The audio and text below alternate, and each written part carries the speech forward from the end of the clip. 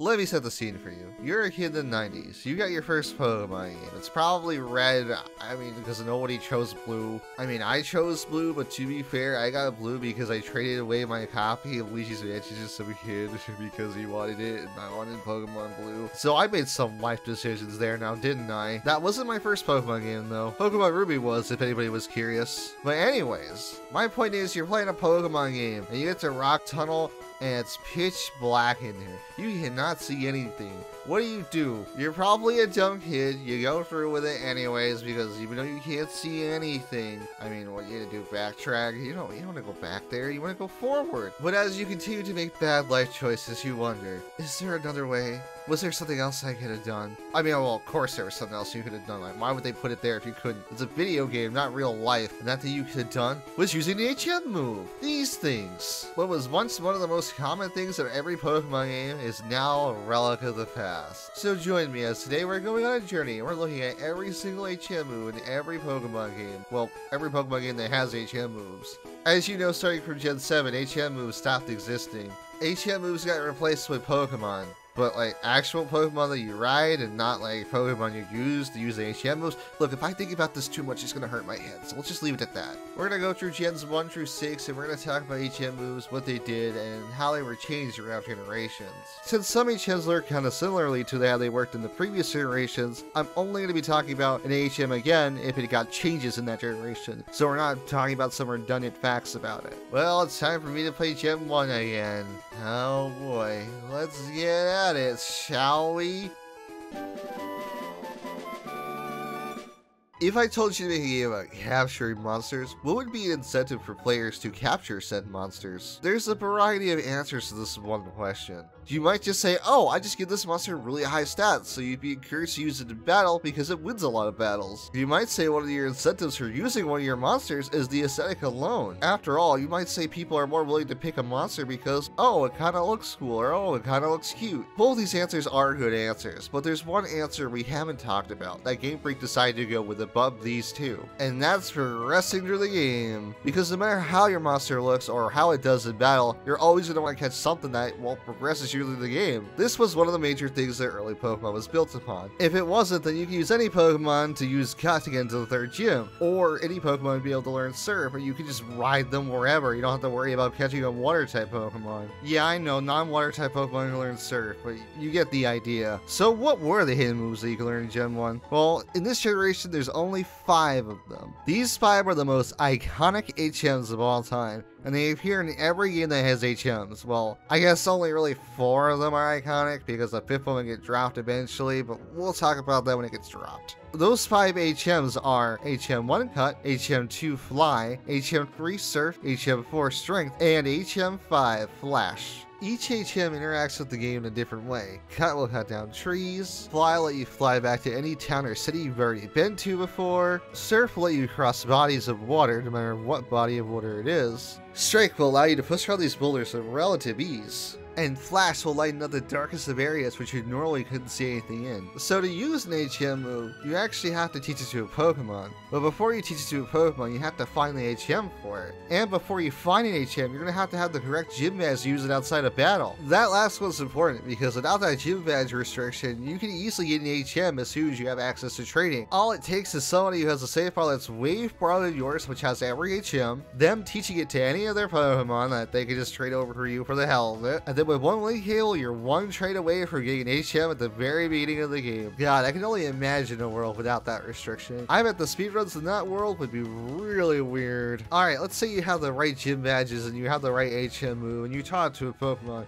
Now what? Well, you gotta go in the Pokemon menu, you gotta interact with the Pokemon that has the HM move. Once you select the Pokemon that has the HM you want to use, you have to scroll through a little menu there to find the HM you want to use out of that and then select it from there. Once you do that, congratulations, you've used an HM move. You have to do that for every HM move in the game, which can get really obnoxious real fast. For Flash and Fly, which you don't use super often, it's not that big of a deal. But for Cut, Surf, and Strength, it gets real obnoxious real fast because you have to use those moves moves pretty often. Especially Strength, because every time you go to a different floor in an area, Strength will automatically turn itself off, and you have to manually turn it back on just to use it again. This doesn't sound like a big deal, but Gen 1 has its fair share of Strength puzzles where you have to push a boulder to a different floor, and you can already see where this TDM would come into play. Also, another annoyance about HM moves, especially Generation 1, is that when they're taught to a Pokemon, you can never delete them. This is pretty obnoxious because most HM moves are pretty bad to use in battle. The only real exception to this rule is Surf.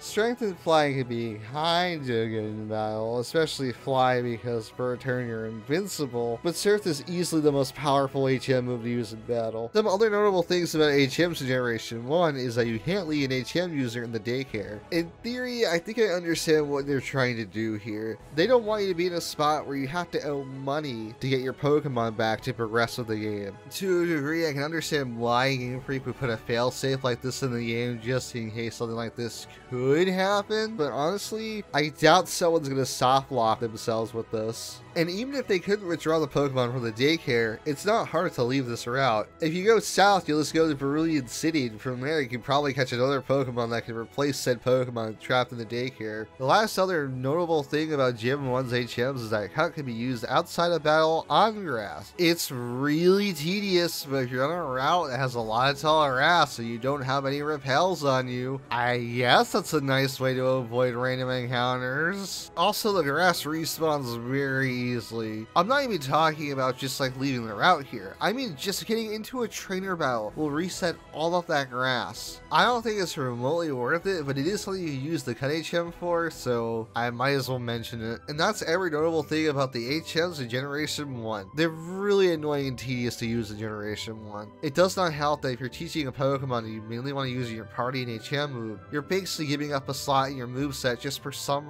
really weak move. I say all this in theory the HM stuff is really cool. The fact that you're catching Pokemon that are helping you get around the world is really nice. It just sucks that there's a lot of tedium within it. So let's check out Gen 2 and see how they solved a lot of these issues that Gen 1 had.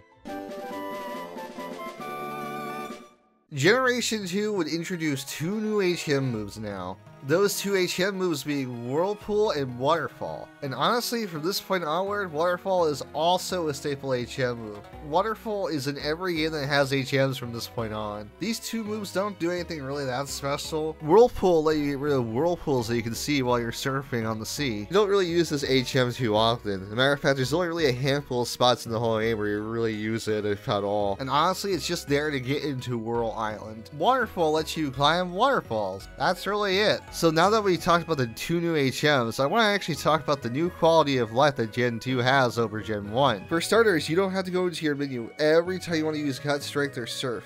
Now, if you want to use those three HMs, you just have to interact with something related to them, and you can just start using it right away. And obviously, this applies to the two new HMs, Waterfall and Whirlpool as well. You don't need to go into your menu to get rid of a Whirlpool or to go up a Waterfall. Another new thing is that you can actually delete HM moves now. It's a little bit out of the way because you have to go talk to somebody to get rid of it. It's still very inconvenient, but it's better than having the HM move being stuck on that Pokemon forever because you can't delete it normally. Also, that weird thing with Gen 1 where you couldn't put an HM Pokemon in the daycare is all another thing anymore. In fact, if you put a Pokemon with an HM in the daycare and you breed it with another Pokemon, there's a chance that the offspring will learn the parent's HM when it hatches out of the egg. This is like a really redundant thing because HMs can be used indefinitely, but hey, it's a new thing they added, I guess. And that's the only Pokemon breeding related thing I'm going to be talking about until the future where I make a 20 minute long video about Pokemon breeding mechanics because you know what's going to happen. Just like in Generation 1, you can also cut down tall grass with the Cut HM, but now there's even taller grass, and that requires you to cut it twice. I feel like that was the most niche grass cutting knowledge I learned while making this video. Gen 2 only really just added two more HMs and a lot of quality of life. Also, those two new HMs that Gen 2 added don't really get that much use, but it's a step in the right direction. It doesn't really need to add much, it just needs to add some quality of life, which was desperately needed. Now, onwards to Gen 3. Generation 3, just like Generation 2 before it, adds two more HM moves. Those HM moves being Rock Smash and Dive. Whirlpool is no longer an HM in this generation. Matter of fact, this is the first generation to go out of its way to remove and replace an HM from the previous generation with a new HM entirely. In retrospect, it's kinda funny they got rid of Whirlpool because Generation 3 has a region that's filled with water. I feel like Whirlpool actually might have got more use here than in Johto, but hey, that's just my thoughts. It makes sense though because we already have three water HMs, having a fourth one would be kinda ridiculous. But I'm not talking about Whirlpool, let's actually talk about the two new HMs that Gen 3 added. Rock Smash is a new HM, and you might think it's not because it was a Gen 2, but it was only a Gen 2 as a TM. Now it's a full-on HM, which means it's required to beat the game. Which is funny I say that because actually Cut is an HM still, and it's not required to beat the game anymore. It's just kind of there for the hell of it. Cut and Rock Smash are kind of similar because they basically do the same thing. While Cut is destroying a tree that's in front of you, Rock Smash is destroying a rock that's in front of you. Well, actually, Rock Smash does have one unique property, and that is you use Rock Smash to destroy a rock, there's a chance that a Pokemon might appear afterwards. This is the only way to get Nosepass, and I've never gotten Nosepass this way. I've always had to trade him in from Pokemon XD. Nosepass just never sponsored me. I don't believe he's real. He's just a myth. The new Water HM this time around is Dive. To use Dive, you have to interact with these dark spots of water, and from there you can actually go underwater. Honestly, this is probably my favorite HM so far. Dive makes all the ocean routes in Hoenn feel so cool because there's always another area under them. It kind of gives you similar vibes to playing Links to the Past, where you go to a dark world version of that area, and it's a completely new area within that area. The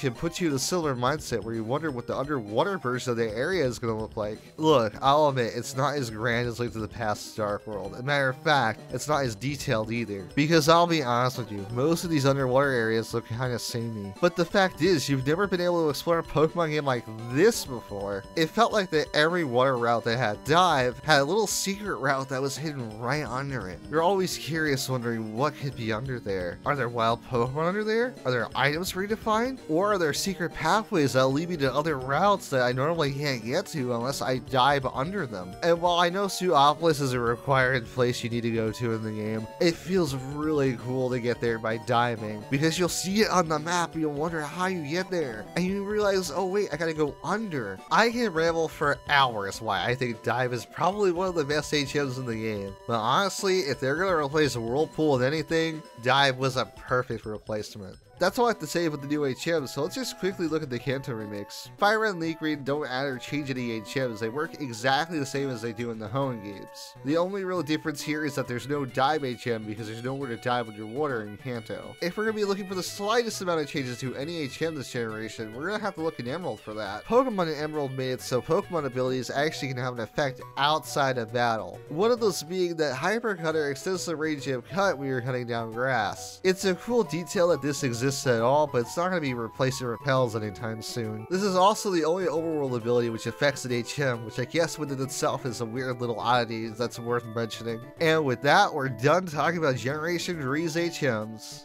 Generation 3 had a lot of fun HMs, but we're at the point where we gotta use 8 of them if we want to explore the world to its fullest. This luckily wasn't a huge problem for Generation 3, but it was one for Generation 4!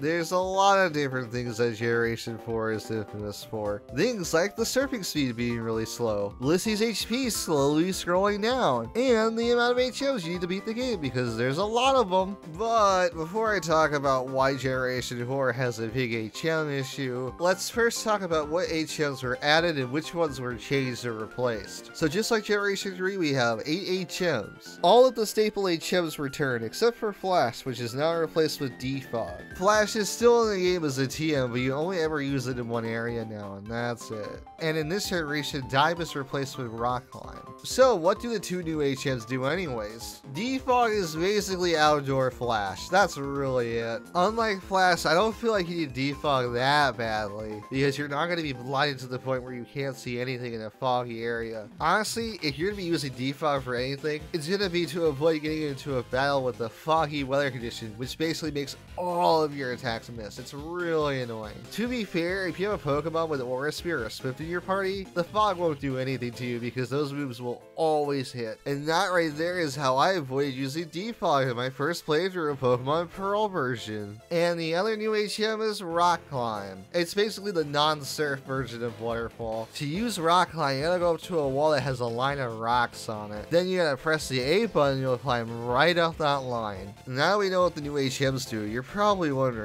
where does Gen 4's HM problem come into play then? To give you a good idea of what I'm talking about, let's compare Generation 3's Victory Road to Generation 4's Victory Road. In Generation 3's Victory Road, you need to use Surf, Strength, Rock Smash, and Waterfall. Out of all of these, Rock Smash is probably the only HM out of all that you probably don't want to use in battle. Worst case scenario, you have a Pokemon that has both Waterfall and Surf on it, but that's not too bad. Compare it to Generation 4, which uses all those HMs and Rock Climb. Honestly, having that one extra HM doesn't seem like a lot at first, but it really does add up. Especially if you want to use Defog in Victory Road, because there are a few spots that are foggy in Victory Road Generation 4. On top of that, not a lot of Pokemon families can even learn Rock Climb. The Pokemon families that you can easily catch in Gen 4 that can actually learn this are Drapion, the Croagunk line, Bibarel, Machoke and Machamp, the Garchomp line, Abomasnow, and I guess if you really raise that Lucario up, that can also learn it as well. Not even in the box legendaries can learn Rock Climb, and that says a lot about your HM if the box legendaries can't learn it. They do make it so your fully evolved starter is guaranteed to learn Rock Climb, but at that rate, you might as well be turning your starter into an HM slave depending on what starter you picked. So the more reasonable option is to go with an HM slave so you don't have to worry about deleting and reteaching moves later. Generation 3 doesn't have this problem as much because it has its HM uses spread out a lot more. For example, they could have easily forced you to use Diamond Victory Road, but they don't. In fact, in Generation 3, there's never a time where you're going to need to use Dive and Waterfall at the same time. You only have to use one or the other depending on the situation. Most of the areas in Gen 4 don't have this luxury. In fact, in most of the areas in Gen 4, you're going to be required to use every HM you've gotten beforehand. So honestly, it feels like the HMs are forcing you to work around them when you're making your own move pools for your Pokemon. Plus, there's a lot more Pokemon in Generation 3 that can learn a variety of these HMs. It does help in Gen 3's favor that three of those moves are water moves that most water Pokemon can learn. With that being said, I think Sinnoh is a really fun region to explore in Generation 4. I just wish it wasn't bogged down by the amount of HMs you need to explore said world. So the Waterfall HM actually works a little bit differently in this generation. I would not blame you if you didn't know that. In fact, they keep this little minor change in every other generation starting from this point onward. Now, if you want to go down a waterfall, a Pokemon in your party must know the Waterfall HM. This does seem kind of weird at first until you consider the fact that if you can only go down a waterfall and not back up it, you can potentially get stuck there, and the devs just want to prevent anything like that from happening. But that's all I have to say about the HMs in the Sinnoh games. Yo, wait, guys, how about one more thing real quick, because this is important. You cannot use cut outside of battle anymore. Yeah, I guess someone thought that was redundant and just took it out. And honestly, probably for the better. I'm not 100% sure. It was just a weird oddity. All right, now we're going to talk about Heart Gold, Soul Silver, because they do have some of the same HMs as before, but some of them do work a little bit differently in Heart Soul Silver in particular, which I feel like are worth mentioning. Funnily enough, Flash does not come back in the Gen 2 remakes. Instead, Whirlpool takes its spot. That also means that Defog is in the Gen 2 remakes as well. Whirlpool works slightly differently in the Gen 2 remakes. You no longer get rid of the Whirlpool, you actually just cross it now. Nothing too crazy, but I figure it's worth mentioning. Rock Climb is the Gen 2 remix, weirdly enough, and it's the only time where an HM requires the 16th badge to work. Gold Soul Silver adds one new mechanic to Rock Smash, which every game from this point onward would actually still use. And that is when you use Rock Smash, instead of just spotting a Pokemon, now you have a chance of finding a random item as well. The items vary depending on what game you're playing, what area you're in. You can find some pretty good items this way, that's also the only way you can get fossils in the Gen 2 remakes. And with that, I'm talking about all the HM related stuff about Generation 4. This was the generation where HM bloat was at its highest. With Generation 5 being a soft reboot to the series, it makes you wonder, are they going to solve this issue? Or will it be more bloated than Gen 4 was? Well, time to find out. Alright, here's a trick question for anybody who's a Pokemon fan. How many HMs are required to beat the original Pokemon Black and White games? Here, I'll, I'll give you a second for this one because it is a trick question. Alright, you ready for the answer? Only one HM is required to beat the game, and that's cut once and that's it. Isn't that insane how we went from Generation 4, which had all this HM bloat, to Generation 5, where you only need one HM to beat the whole game? And Black and White 2 requires you to use two HMs to beat the whole game. Now, don't get me wrong here, HMs still have their uses in this game, but they're not as heavily required as they were in Generation 4. In fact, they're required so little to progress with the plot that Generation 5 is the only only generation where you don't need a gym badge to use an HM. If you have a Pokemon that already has that HM on it, well, congratulations, you can use that HM right now. I won't lie, it feels very illegal that I'm using Surf right now while only having one gym badge, but that's just how this game works, I guess. So you're probably wondering how many HMs are actually in this game because you rarely use them at all. There are a total of 6 HMs in Generation 5. All these HMs are returning HMs from the previous games. There are no new HMs in Generation 5. In fact, from this point onward, there are going to be no more new HM moves. Honestly, this is a really good idea in theory, but it does feel really jarring. One of the charms of the older Pokemon games that did have HMs is that the HMs basically gave you an idea of how you're going to explore that region. This gave every region beforehand its own little bit of personality. So from Gen 5 onward, that little piece of personality is forever lost. This is not me saying that the regions from Gen 5 onward have no personality. In fact, I'd argue that the region in Gen 5 actually has a lot more personality than the regions before it. It's just that you'll never explore the region in a unique way like diving underwater Hoenn or using rock climb the Sinnoh. And honestly, that really sucks, and it doesn't help that some of these HMs feel really dumbed down in Generation 5. The best example of this is the Strength HM. In all the previous generations, Strength was used to solve these block pushing puzzles. Most of the time, these Strength puzzles require a little bit of thought, and you can't just brute force them. In Generation 5, there is no puzzle. You just push the block into the hole. And it's not like the boulder is going to be really far away either. It's usually right next to the hole. Honestly, it feels a little bit insulting that they simplified the the block posting puzzles this much. It basically feels like that strength no longer interacts with the environment in any meaningful way, and now it's just a glorified shortcut opener. Dive also returned to Generation 5, but it feels dumbed down in its own different way. Let me start this off by saying I think it's really cool that at least in Black and White, Dive is like a secret HM. There are no hints whatsoever that's in the game. Usually a lot of the other previous generations, when you get a gym badge, it will actually tell you what HM you can use with it. Since that isn't a thing in Generation 5, there's no hints that Dive is in the game at all, and the fact is, you can only get and use Dive in a post-game area. So because of this, it's really exciting to stumble upon the Dive HM. I is until you realize that Dive was only ever used once in the whole entire game. The area that Generation 5 lets you access is a really cool area for a lot of different reasons, and the puzzles there are really interesting. But Dive isn't used in such a grand scale as it was in Generation 3, where in that game, every ocean route had its own underwater version of that route. While Generation 5's use of Dive is really simple and only in one area, you could argue that Generation 5 has more quality over quantity, because that one area where you use Dive in Generation 5 is a very small area, but it's very detailed there's a lot of things going on in it, as opposed to a lot of the dive spots in Generation 3 which could be seen as just connecting pathways. No matter how you see it though, at the end of the day, Generation 5's use of Dive is way more simple than the previous generation that used it. And that's how Generation 5 tackles the HM bloat problem by making it so you rarely use HMs at all.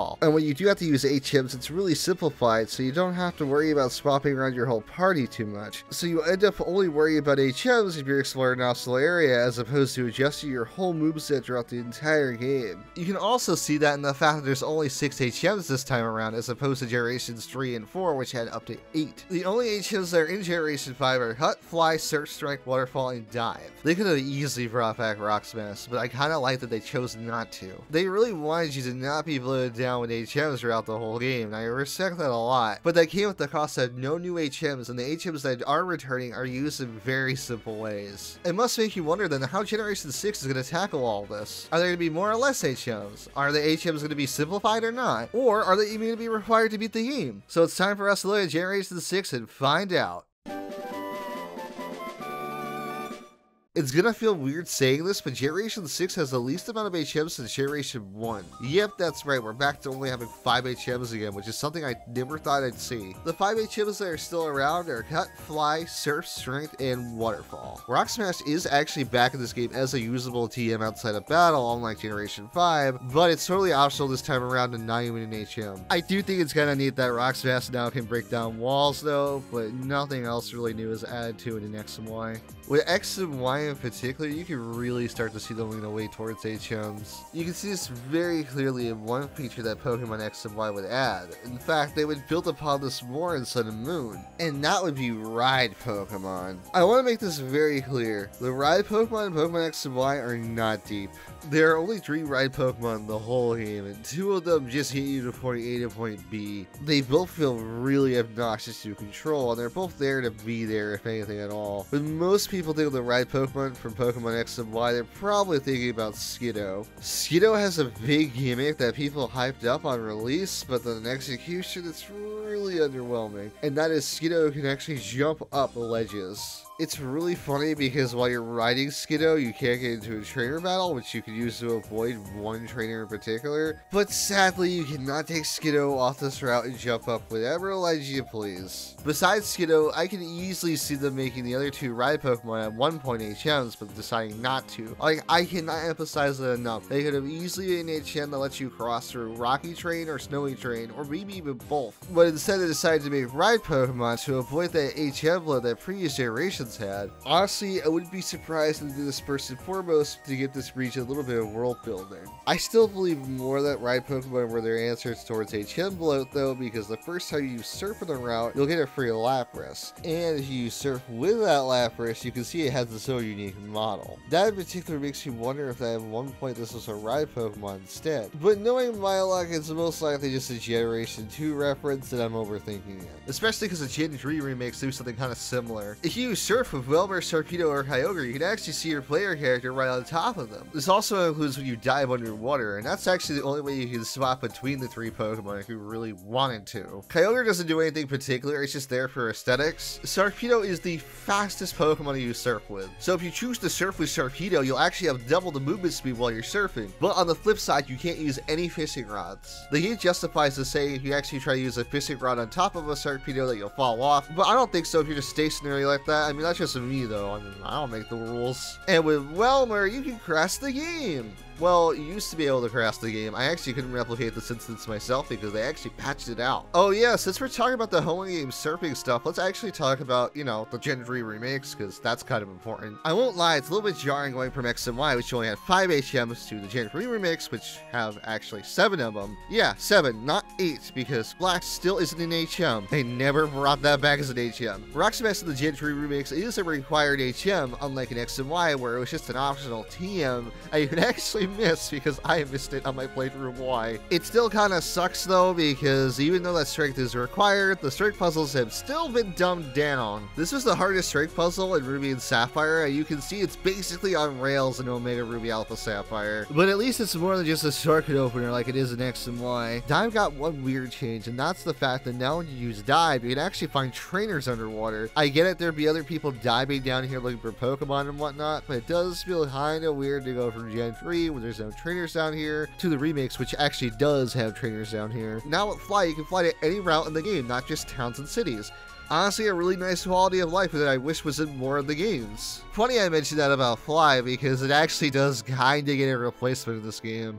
This really is the first ride Pokemon, and that's your Latios or Latias that you get with the Aeon Flute. With the Aeon Flute, you can basically fly to any town in the game. To be fair, Fly is still instantaneous, unlike the Aeon Flute. So if you just really want to get somewhere really that fast, Fly is better. But if you don't want to have the Fly HM with you all the time, which honestly, Fly isn't a good move, so I don't blame you, the Aeon Flute is a really good replacement for Fly. It also just feels really fun to fly around the Hoenn region like this. You basically fly on top of your Latios or Latias like it's a Final Fantasy airship. It really feels like the airship from Final Fantasy VI it's kind of cool. And just like a Final Fantasy airship, you have to manually pilot over to where you want to land, whether that be a town or a route. It feels really refreshing to fly about the region like this. In fact, I've never seen that Pokemon game do this before. You can get a lot of cool views this way too. Yeah, I know it's a 3DS game, so the visuals aren't that impressive, but I still think this is really cool, and I've never seen the Hoenn region this way before. You can encounter some wild Pokemon while you're flying with the Aeon Flute, but it's actually pretty rare, honestly. You have to go really out of your way to bump into them in my experience. Every day there are different islands that can spawn while you're flying with the Aeon Flute that you can land onto. Some of these islands have Pokemon that aren't native to the Hoenn region, some of them have legendaries, it all depends on what island you find. Overall, I really like the Aeon Flute, probably the best thing in the ORAS remix in my opinion.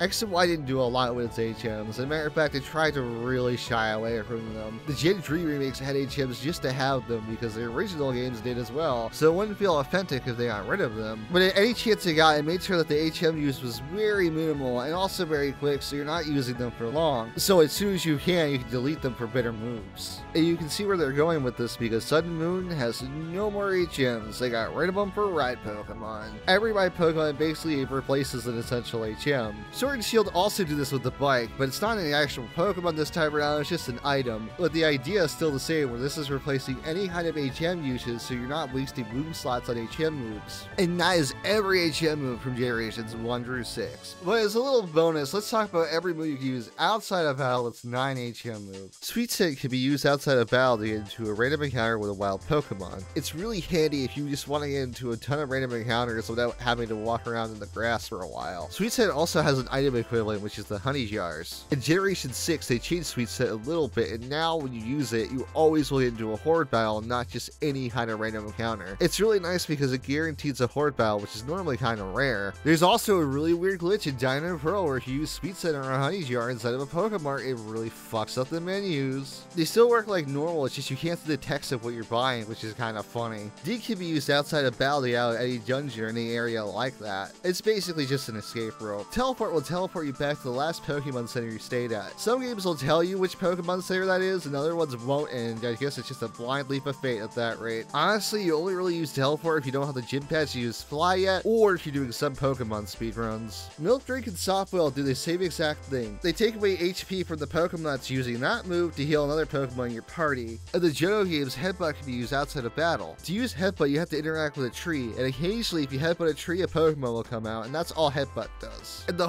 Hoenn games, Secret Power can be used outside of battle in certain places to make secret bases. Honestly, there's a lot to say about secret bases, so I'll just probably make another video about them in the future. And finally, the last move we're going to be talking about, Chatter. Chatter outside of battle lets you use the DS's microphone to change to cry to whatever you want it to be. This will also change how Chatter sounds. Changing Chatot's cry with Chatter only does one thing, and that ah. one thing is that if you use Chatter in battle, the louder of a noise you made, the higher of a chance it will cause confusion. So to get the most out of this move, I guess you're gonna obnoxiously scream into your DS's microphone, which I guess is something you can do, and not just every Pokemon move you can use outside of battle. I won't lie, to some degree I will miss using HM moves because you're using your own Pokemon to interact with the environment. And then I have flashbacks using Rock Smash in late game areas, and actually I'm, I'm good, I'm good. So I prefer the Ride Pokemon in the long run, so I'm not teaching my Pokemon really bad moves here at the end of the game because I need to progress with the plot. So I think this is a change for the better. Oh yeah, didn't making this video, I kind of realized something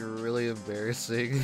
and that is that the reason why there's only like 8 HMs max in a generation, if there is 8 HMs, is because there's only 8 gym badges. I don't know why I ever thought about this until now, but um, yeah. Okay, that's all I got. Bye! Holy shit, it's finally fucking over. Uh, this video took a long time to make because I didn't realize how much I actually had to say about this topic until I started to do it. Plus, there was stuff I had to research about this video while I was doing it. Not a lot, but there were some instances where I'm like, oh my god, I need to confirm this or I need to check this or whatever. So if you've gotten this far, thank you so much. This is probably one of my longer videos, which I didn't think it was going to be this long, but here we are. Honestly, I don't really have a lot to say for this video in particular. If you want to support me, thumbs up, leave a comment, subscribe, do all that shit. If you want to go be up and beyond, I have a Patreon somewhere. Maybe it's the link of the video. I don't remember at the moment. I'm fucking tired. this video Oh my god, there were so many takes I had to do for most of these lines. It was kind of insane. I had a lot of fun doing this video, but god damn, I had to do so many takes for a lot of these lines because they sound like shit. but it was a cool video though. I'm gonna be so excited when I finally have this edited, you know, out there. I mean, by the time that's the case, you you'll, be hearing this and whatnot. But for me right now, I still gotta actually like, you know, do the final edits and whatnot. I don't know how much longer that'll be, but it will be something, I guess. So yeah, thank you for watching. I'll see you in the next one. I don't know what that's gonna be yet. We're, we're figuring this out as I go. Bye!